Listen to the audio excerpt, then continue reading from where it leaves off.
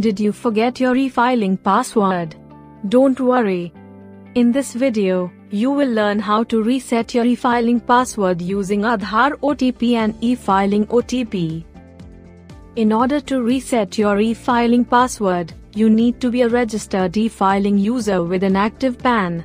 If you have not enabled higher security options using the e-filing vault service, you can reset your password using Aadhaar OTP and e-filing OTP. You may refer to the e-filing vault higher security user manual to learn more.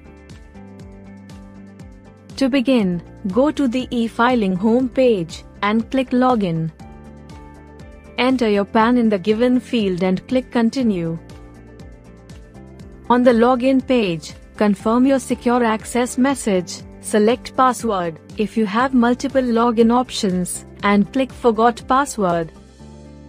On the Forgot Password page, enter your PAN and click Continue. To reset your password using Aadhaar OTP, your Aadhaar should be linked with your PAN, and an active mobile number should be registered with Aadhaar. If you haven't linked your PAN with Aadhaar, refer to the link Aadhaar video and link your PAN with Aadhaar before you proceed. Select OTP on mobile number registered with Aadhaar and click continue.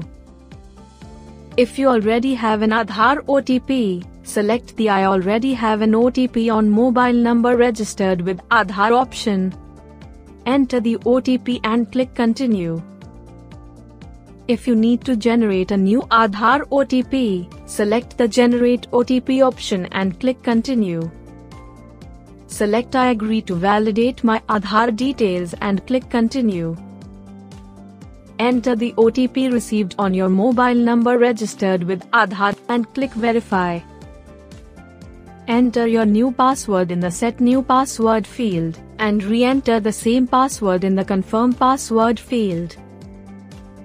Please note that according to the password policy, your new password should have at least 8 characters, and at most 14 characters, both uppercase and lowercase letters, at least one number, and at least one special character. Click Submit to proceed. After your password is reset, a success message is displayed, along with an email and SMS sent to your email ID and mobile number registered with the e-filing portal. Now, let's look at how to reset your password using e-filing OTP. On the page to select an option to reset password, select Use e-filing OTP and click Continue. Enter your date of birth and click Continue. Enter the two distinct 6-digit OTPs received on your mobile number and email ID registered with the filing, and click Verify. After successful verification, on the next screen, enter your new password in the Set New Password and Confirm Password fields. When entering your new password, be mindful of the password policy. Click Submit to proceed.